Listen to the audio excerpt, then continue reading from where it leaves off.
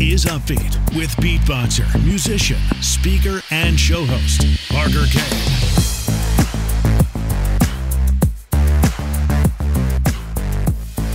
Hey everyone, welcome to Upbeat, and thank you very much for being here and for listening in today. If you would, please follow the podcast wherever you're listening to it right now. And if you like the show, then leave an upbeat review that is always super appreciated. So thank you for that. Today's guest is Italina Kirknis, and she's an online presence expert, social media expert, professional speaker, Inman News contributor, and championship tennis player. So that's pretty freaking cool. Uh, but yeah, she knows everything there is to know about building our online presence, everything there is to know about LinkedIn and Instagram. And it was absolutely amazing to have her here on Upbeat to share some helpful tactics with us so we can boost our online presence and really utilize utilize those social media platforms. But it was also really cool to get to know her more and to hear more of her story uh, because she, in the truest sense of the word, is an entrepreneur. She is someone who left a comfy job, took the leap into entrepreneurship, building her own social media agency to do exactly what we talk about in this episode, which is help others build their online presence and social media presence. And so she's doing it. She's killing this thing. And it was awesome to learn from her and hear her story. And I think episodes like this really inspire me, and I know they inspire you as well to be better and more creative and more resilient entrepreneurs. So without further ado, let's get into it. Italina, thank you very much for joining me on Upbeats. I appreciate it. Oh, I'm so thrilled. I'm so thrilled, Parker. Me too. I'm so happy to have you here. And yet again, another one of my guests to join me from Clubhouse. So before we get into anything, I just want to hear what are your thoughts on this new Clubhouse app?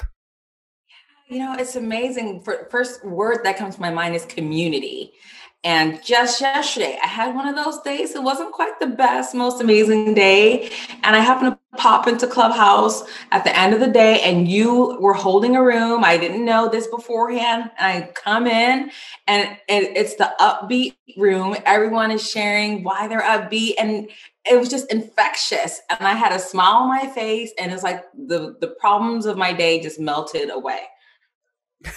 Thank you so much. I'm glad that room helped. Uh, that's you know one of my goals with the podcast. One of my goals with uh, the rooms I do on Clubhouse is to just keep things upbeat. You know, we don't have to you know be so negative and and depressed all the time. so, uh, but I'm glad that I'm glad that helped. And again, a pleasure to have you here. Uh, kind of a custom thing that I do on this on this podcast is start with story. So uh, if you don't mind, we would love to hear from you. Would love to hear your story, anything you'd like to share, but maybe uh, maybe drop in there a little bit how how you became interested in what you do now with social media and helping people with their online presence. Happy to. I oddly enough, well, my first ever ever career was as a championship tennis player.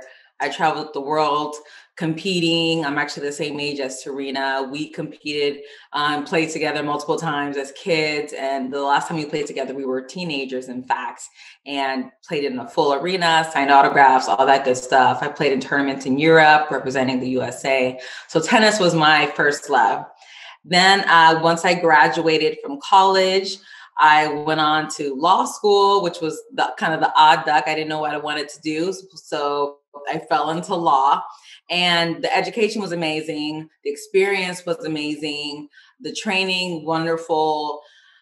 I honestly, uh, while I had the quote unquote dream job, I just was miserable, Parker. So I knew I was going to make a shift into another career. I didn't know what. So I went on to LinkedIn. This was back in 2010. LinkedIn was primarily the job search tool. So I I started networking on there. I knew I didn't want to be spammy. I knew I didn't want to just spam out my resume. I knew I didn't I wanted to attract my next opportunity rather than chase.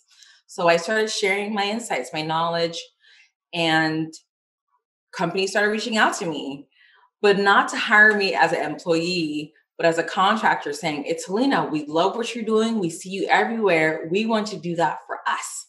So essentially, what I was doing back in 2010, before the Facebook business page even rolled out, um, this whole idea of the social media management that wasn't even an industry. uh, that's what I was doing. And this company wanted me to do that for them. So I was like, okay, sure, I'll do that while I look for a job. And then another company asked me to do the same thing. And then a small business and another small business and then an individual and then another person. And before I knew it, I was having a hard time finding time to go on job interviews and look for a job. So I thought, hmm, this is kind of, I'm enjoying it. This seems to be a thing, a need. And I definitely felt more in alignment. I was happier for sure. So I went ahead and it took me a couple years, I'll admit, but I made the entrepreneurship leap and officially started my company in 2012. 2012. That's crazy. So it's been a few years now that you've been totally doing your own thing. Yeah, social media management for the past nine years. We just celebrated our nine year work anniversary. I went from just being myself to now I have four other people on my team. We have 12, we have clients in 12 different states. So it's just, it's been like a dream. I'm living my dream. yeah. Well, and you're a really great speaker too. Um, just even right now, like your speaking etiquette's great. And I, I know from looking into you that you do public speaking as well. So how has, how has speaking kind of played a role in this career that you've jumped into? Sure. Well, what was funny is when I was working in the legal field, obviously you need to talk, you need to present to judges, talk to other attorneys. So that really honed my public speaking skills. And actually, someone mentioned me one day after work. Italina, you're a good public speaker. You have a gift. I was like, no, everyone talks. You're like, I, I just talk, you know. And um, everyone uh, talks. I love that. and I thought, and so she said, "No, no, no, you have a gift." So that just went into the back of my head. So when I started my social media company, I thought, well, I should incorporate public speaking. I was told a while back that I'm a good public speaker. So, yeah, I give over 40 talks a year uh, educating, giving away free social media advice to companies and businesses and individual networking groups. And people become clients as a result of hearing me share and wanting us to take over their social media accounts.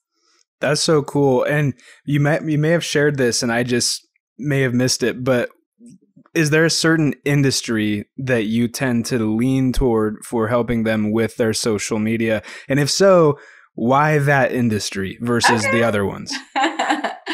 So just like with my job or work, line of work that I ended up falling in, I, I solely went based on how I feel, how I how it made me feel, uh, whether I was in alignment. Uh, same thing with this niche. Uh, you can imagine since my previous career was law, initially I would go into law firms and speak and share. And, you know, the attorneys would kind of just sit there with their arms crossed and their black blazers and they wouldn't laugh at any of my jokes. And then one day I happened to meet a realtor, a real estate agent, and she said, I can come have you speak to a group of agents. It was over 300 people. I went there. They were laughing. They were on the edge of their seats. They were super engaged. And I was like, oh my God, these are my people. So I just made it the, another decision totally just based on how I felt, just a gut feeling.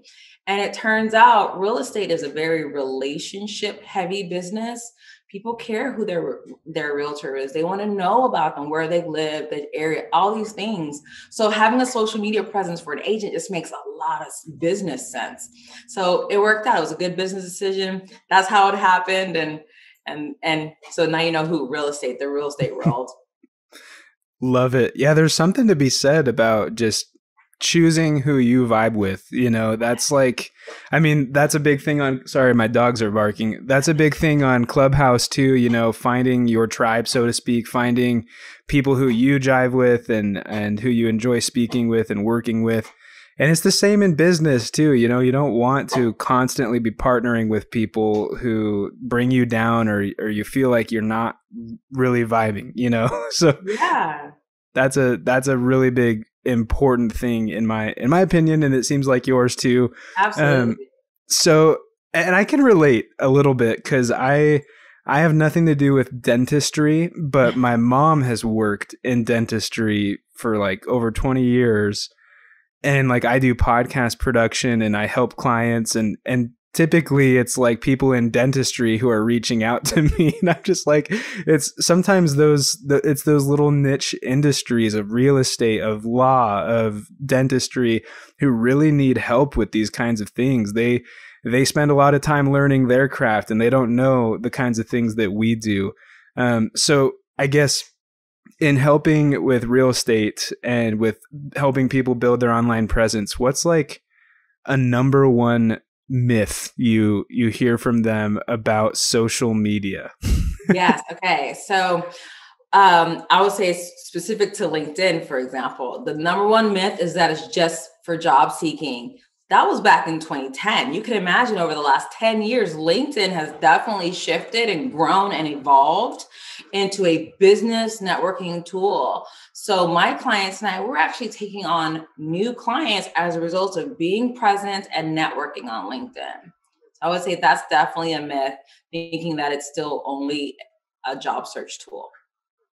And do you find that that there's a lot of doubt and hesitancy just with Instagram and LinkedIn um, as to whether or not it works? Because that's know, something I, think, I run into. I think there's sure. I think with thanks to I don't want to say the c word, but you know, thanks to that thing, that health thing out there that's happening, it pushed us all online, and people see the value more so now oh my God, well, I can't go meet in large groups like I used to. So being online makes a lot of sense. So I would say definitely this past year, there's been a huge shift there. But I think you, I still hear people, they seem surprised that, oh, you mean I can take on new clients as a result of being on social media? Well, remember, if you look at Facebook, Instagram, LinkedIn as networking events, for example, you're building a relationship, you're being present there, you're showing up. And that's how relationships turn into clientele. So it's the same thing. And I think people just don't realize sometimes that surprise or it doesn't seem logical. yeah. Well, and what's crazy too with networking events, oftentimes it's a pretty high ticket thing to go to. Yeah. The platforms are free. Yeah, so yeah, it's like, why not? exactly. Exactly. Why not? I love that. Awesome. Um, well, I guess in in this niche of of um, building your brand on on social media, how much of it would you say is personal brand versus them trying to create like a business brand? Sure. So what's so nice and just my philosophy of marketing is your brand, you are your brand as far as your business and your personal, and that should be mm, combined essentially. So, for example, if you were to look at my Instagram, I have you will you're gonna find absolutely social media tips. You're gonna see there where we're informing people about how we help people with social media. That's obviously the business part. Um, but you're also going to see me on the tennis court. Um, tennis is part of who I am, and my philosophy of marketing is that we don't want to separate who you are from your business. You are your business. So I really like to distinguish between personal versus private. Private, we're going to keep behind closed doors and we're not going to post about those things. But personal, this means it's personal to you, meaning like tennis, you don't mind people knowing that you work out or that you're out doing these, you know, certain things. So that's personal bold, the more personal things that people can relate to, that you should still, that I, I'm a fan of incorporating into your branding. Got it. I absolutely love that. It's awesome.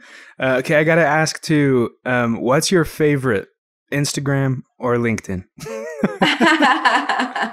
okay, so Instagram is fun. I, I find it fun. I love doing stories. I, I, shared a story which I saw you viewed today about how I got this mystery gift in the mail. It was a really cool book. I have no idea who sent it. And if your viewers want to connect with me on Instagram, it's at Italina K, which is just my first name and last name initial.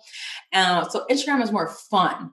LinkedIn, I love because it's business. Like I get, I set so many consultations up because I'm networking on LinkedIn.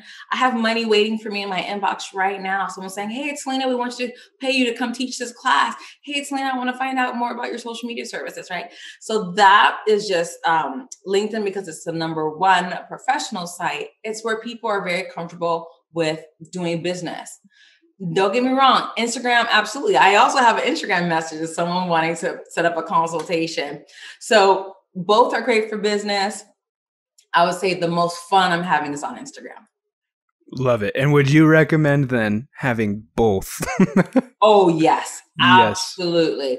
And what I understand is Clubhouse is making it to where they're going to also link the LinkedIn page.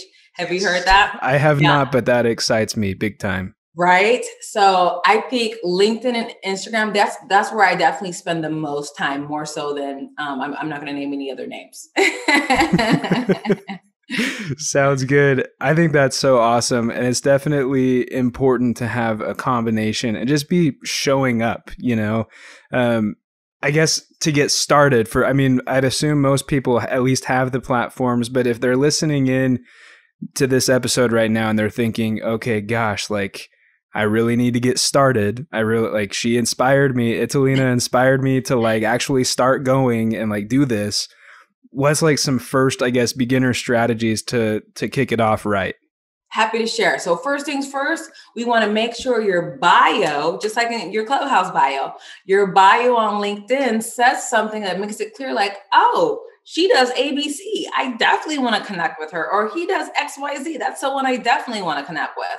So make sure that all this awesomeness that you have in person is conveyed on your bio as well. So that's first things first. And your audience is totally welcome to look at my LinkedIn uh, bio, LinkedIn profile to see some of the cool things I do on there to just help them with as far as guidance. And by the way, Parker, that's actually our number one most popular service where people want us to rewrite their bios for them. And people also want us to do, we we rewrite their uh, clubhouse bios even. So wow. Yeah, that's our number one most popular service. And I would say the second is the weekly post where we post for them on a consistent basis.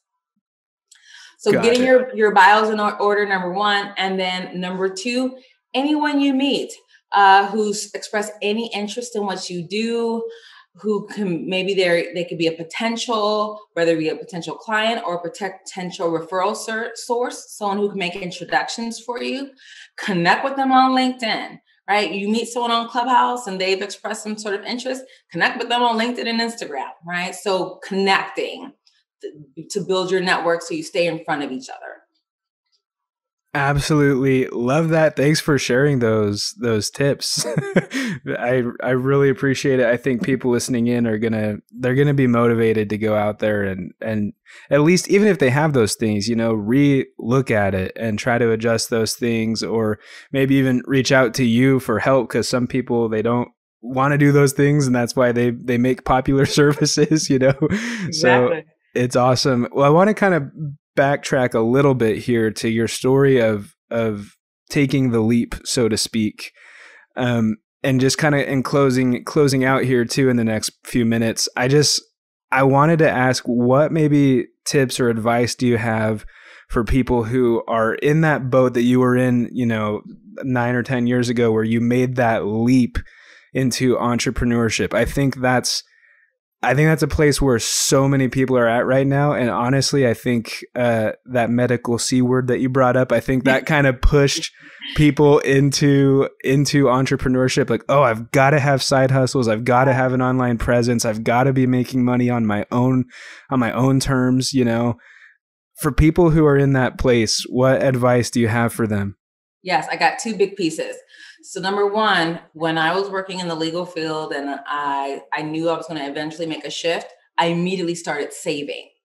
So start saving for it because you know there's going to be some transition time, you know, before you start really making uh, some real income. So start saving immediately. And then number two, don't try to have everything. Wait until you have everything all figured out. It's never going to happen. You're never going to have everything all figured out build the plane as you fly it. So as you heard with my niche, I, if I would have wait because I didn't have a niche, but I started my business. I didn't figure it out until I started going along. Think as you make a step, the next step will unfold. Absolutely love that. I love that analogy to um, build the plane as you fly. I've never heard that before, but I I think that's exactly what it is. You know, it's I've I've heard um, I've heard the analogy building your escape plan, like like in movies when people escape from jail or whatever, and like that kind of makes sense to to a certain extent. But I guess once you get out, once you've escaped, like you're still you're still running with, you know, uh improv. You're just Yeah. praying, hope crossing your fingers, hoping for the best. And I think the building the plane as you fly it is a great analogy. Thanks. Um, well, I've got this last little segment that I call the upbeat seat. Uh, but before we move into that, I was just curious if you had anything else, maybe pressing that you'd that you'd love to add, or maybe I didn't touch on. Um, and if not, Oh. we'll go ahead and move into the next segment. Um, I don't think I have anything to add. I would just, um, yeah, go ahead. Let's let's move into the next segment. Sounds good. Well, this is the upbeat seat, um, and I just ask a few kind of like five or six uh, quicker questions. But overall, and the first one actually is what inspired last night's uh, clubhouse room. The what makes you upbeat. So the first question is, what makes you upbeat? I am an extrovert. And while I have an underlying joy that maintains con- pretty consistent, even though there's hardships and things coming my way, I still have an underlying joy. Uh, there are days when I am, if I, if I am down or not as upbeat as I usually am, connecting with people, a phone call, hopping on Clubhouse. People, I, I feel like we as people, we are the best thing to happen to each other. It's true. I love that. Who is your number one influence or inspiration? Okay, so I, I, my grandmother came to my mind right away. If I were to think further, I can think of some other people, but she came to my mind right away. She immigrated here, and I think about just I remember just how strong she was. She passed away, so I remember how strong she she was, and she even she was tired and didn't feel like doing things. I saw her still making things happen. So that inspires me and makes me feel like it's Lena. What are you doing? Get yourself together. You have nothing to be complaining about. So definitely my grandmother. Awesome. So cool. Uh, what music do you listen to to stay upbeat and motivated? So first kind um uh, um house comes to my, my mind, right? It's, it's very and it's kind of like um across like a little bit of techno, like it's that is very, you know, very upbeat. I think I think you would be a great beatboxer. Heard that little. Uh, what is your favorite word? my favorite word. Fun. Fun. That's so simple, cool. short, and it, it lifts your mood. Makes things better. Yeah. Yeah. Um, what is a favorite TV show of yours? So I don't watch much TV these days. I don't even own a TV, in fact. But the last show that I recall that I was just obsessed with, Scandal, with Kerry Washington. Awesome. I don't think I've seen it. I should probably go look into it.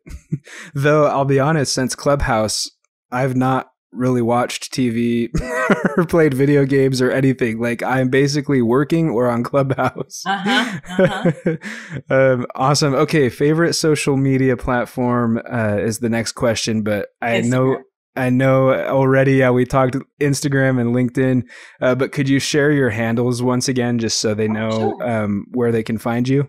Yeah, so on Instagram is Italina K I T A L I N A K.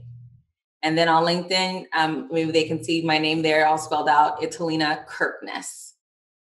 Perfect. Awesome. Well, thanks again for being on Upbeats. Uh, I'm going to go ahead and close us out here by beatboxing your name real quick. And hopefully it comes through over Zoom. I've messed with some settings, so we'll see. Yeah, and I would love people to connect with me and say that you they saw me here with you, Parker. yes, that would be awesome. Definitely do that. Everybody reach out. Let us know what you thought of this episode. Uh, and we'd love to connect with you.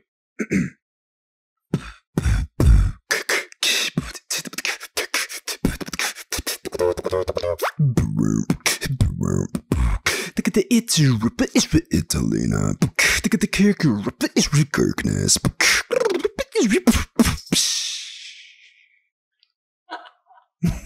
that was so cool. So cool. Awesome. Well, thanks so much for being on Upbeat. Appreciate you.